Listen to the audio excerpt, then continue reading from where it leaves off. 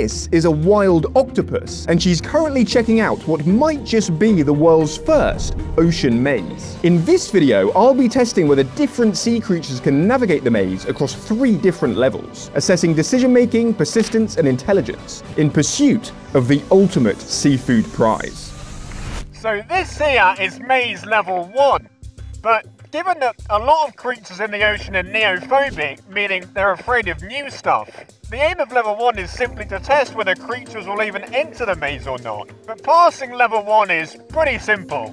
Let me show you how. Participants must first find the entrance. Here, they enter a long tunnel that leads to a spacious central section, complete with windows, of course. After a simple right turn, participants will then find themselves heading down a short tunnel directly towards an acrylic box full of seafood treats. And we've got three items on the menu. Number one is crab, Number two is shrimp. These were expensive, these were.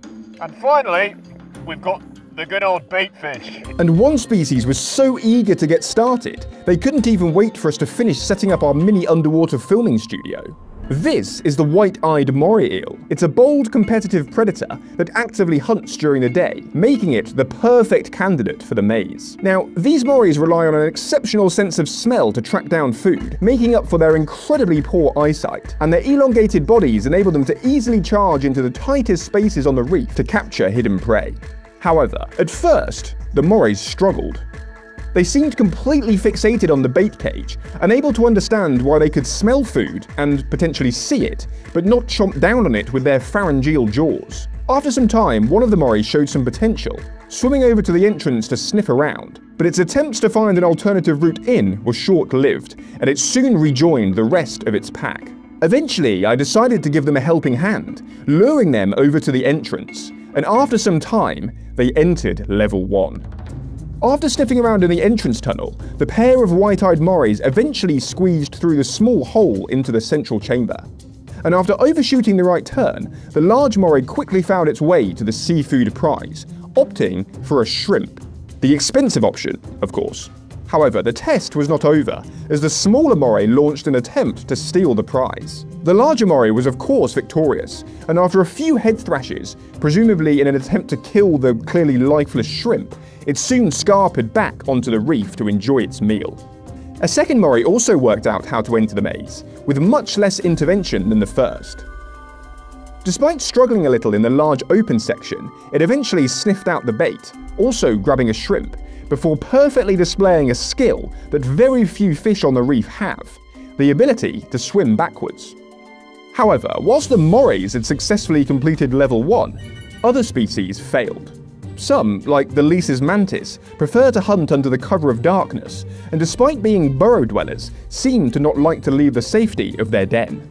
Others were much more eager, but were just the wrong shape namely the porcupine fishes, box fishes, and perhaps the most persistent fish in the ocean, the white-spotted puffer, that relentlessly swarmed the bait cage in an attempt to eventually fish out its favourite crustacean snacks. Like the puffers, this juvenile blue-spotted stingray was also definitely too wide to fit.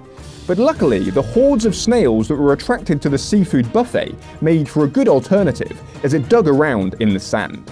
Now we knew that creatures didn't fear the maze, it was time for level 2.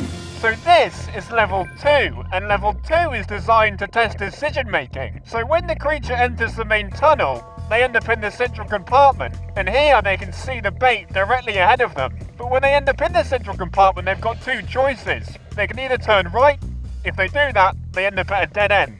Or they can turn left, navigate around two tight corners, and end up at the bait cage and there was one species that I was convinced would make light work of level 2. The eels were once again too eager and jumped in line. The white-eyed morays quickly became obsessed with the bait again, but guided by a few small scraps of fish I left near the entrance, one individual soon entered level 2. So this level tests decision making and persistence. When arriving in the central chamber, the Moray can see the buffet through the circular window and visually has to make a 50-50 decision. Despite Moray's having a strong sense of smell, this one picked the wrong path and soon found itself face to face with a dead end. After getting a closer look at the bait through the blocked off window to make sure it was definitely still there, its nose guided it down the correct path. And as expected, it completely ignored the fresh crab and fish, opting for a small chunk of shrimp instead. I'm not sure why these morays feel the need to be so aggressive with non-living prey. Perhaps it's just habit. But in snake-like fashion, this one soon balled up around the shrimp. Morays do this for a number of reasons, including to prevent prey from escaping, as well as to create leverage to allow them to tear apart or swallow larger food items. It also went back in for more, and unfortunately the second moray that found itself the wrong side of the acrylic cage could do nothing but watch in confusion as its cave mate swallowed yet another chunk of premium shrimp. This is an interesting observation though, showing an inability to learn by example, perhaps as a result of the moray's poor vision. After all, you can't copy what you don't see. However, it was time to move on to a critter well known for its intelligence. This is a day octopus, one of the most intelligent invertebrates in the ocean, capable of learning, problem solving, and even using tools. They have a highly developed nervous system, with much of it located in their arms, that they operate semi-independently whilst exploring or hunting for crabs, shrimps, and small fish. They're also naturally curious, Although, whilst octopus show remarkable abilities to solve mazes in an aquarium, this is the ocean, and this individual is completely wild. What this octopus did was incredibly unexpected. After some time, it eventually left the safety of its favourite rock, showing its ability to instantly change colour to aid its camouflage and help it communicate with other marine life. The octopus took its time, slowly working its way around the tunnels and compartments of the maze, using its eight arms to create a blueprint. It even spent time investigating each of the three cameras we'd left on the sea floor to document it. On a number of occasions, it climbed on top of the maze entrance, and also spent time around the bait cage. But bizarrely, on the whole, it seemed pretty disinterested, and eventually returned to its rocky den. Why? Well, after watching this octopus for many hours, it turned out it had other priorities. Number 1. Cleaning its den. The octopus spent a lot of time ejecting sand from its burrow. However, other things also need removing, like this wandering brittle star that had clearly crawled into the wrong hole to hide from the midday sun. Number 2. Construction. The perfect den requires the best rocks on the reef, and lots of trial and error, and the octopus was keen to inspect every single rock and pebble in the immediate area, both big and small. Number 3. Defense.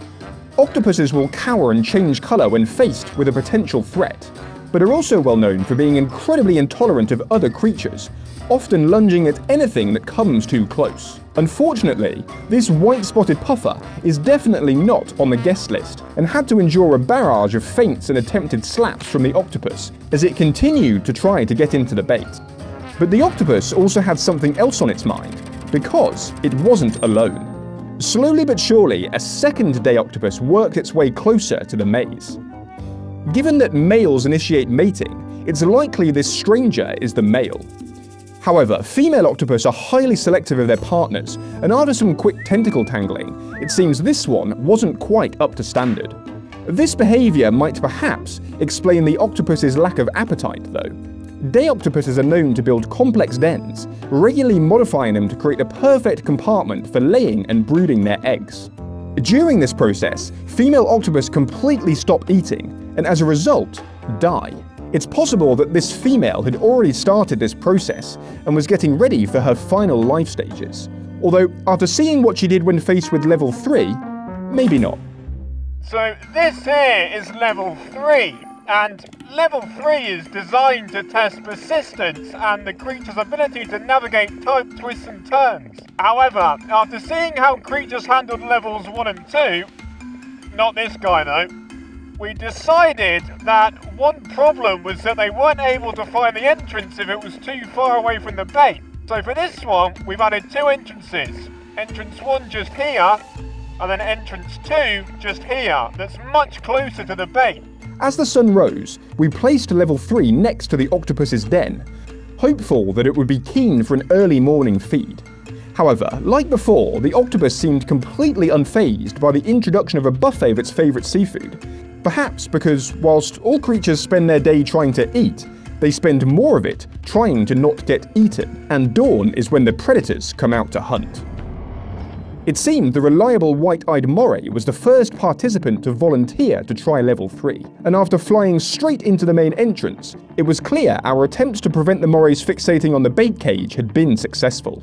It was briefly distracted by the window we'd placed inside the first tunnel, but soon continued venturing down. After moving through the hole into the end section, it sniffed around a little before moving to the second floor, where it wasted no time pulling out a snack. However, this moray had opted for a fish head, ignoring the same shrimp that other white-eyed morays seemed fixated on. This individual is much larger though, and perhaps indicates how morays' diets change as they mature. However, he wasn't the only participant interested in the fish, as a wandering emperor stared intently as the moray attempted to swallow the fish whole. After failing to do so inside the maze, the moray rushed off, dropping the fish head as it exited. Perhaps the Emperor's intimidation tactics had paid off. It might be that it was the presence of these predators that made the octopus nervous. Now, unlike a captive bred or domesticated octopus, the reason why a wild octopus, like this one just here, might choose to not even explore the maze is because it's always weighing up food reward versus predation risk. So whilst it might be keen for an easy snack, it's also wondering whether there's a chance that it might get eaten so whilst we see these octopuses being incredibly intelligent and therefore assume that they'd explore the maze, in fact, their intelligence could be the reason that they don't. Watching the drama from a distance, she soon returned to her rocky perch. After launching a few tentacles at a persistent cleaner wrasse, she eventually climbed back down and began exploring the maze again, and also decided she needed another look at our cameras. But something didn't seem right. It turned out she was hatching a plan. A little later in the day, another much smaller white-eyed moray appeared, drawn in by the seafood banquet. Unlike the much larger individual that spooked the octopus at dawn, this one didn't pose much of a threat, and the octopus made this very clear, launching herself on a number of occasions at the small eel as it poked its head out from under the maze. Eventually though, this eel too worked out how to enter, opting for entrance 2 instead, and quickly made its way onto level 2, where it fished out a very large snack, a whole shrimp.